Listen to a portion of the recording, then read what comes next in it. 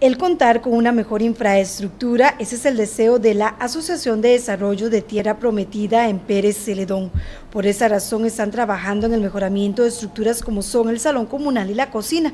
Para ello cuentan con una partida específica designada por la municipalidad por 3 millones de colones y la agrupación también está aportando recursos.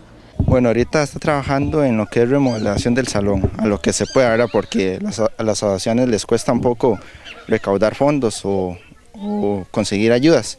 Ahorita sí estamos remodelando la cocina, que es una, un aporte en especie de la municipalidad que nos donó de 3 millones, junto con la asociación que también aporta ¿verdad? casi el 50%.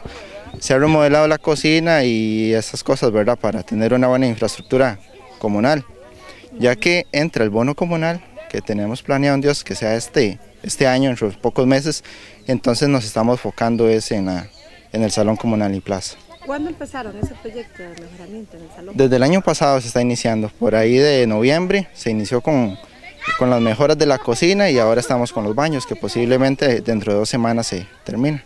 También se mejoran los baños y la cancha de fútbol. Eh, remodelándolos completamente, dos baños para mujeres, dos para hombres y uno para eh, personas con capacidades eh, este, especiales, ¿verdad? ¿Y en la plaza? En la plaza sí se pretende hacer un subcomité de deportes para, para afiliarnos al, al comité cantonal y ver si podemos lograr otros proyectos acá en la plaza.